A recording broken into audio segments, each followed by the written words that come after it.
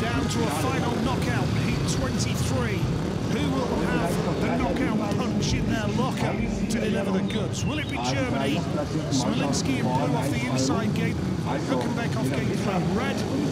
Or will it be the Czech Republic with Vaclav Milik in white off gate two and Edward Krčmar is off the outside in red. We know that Sweden and Poland are already in the final in Togliatti alongside the host nation Russia.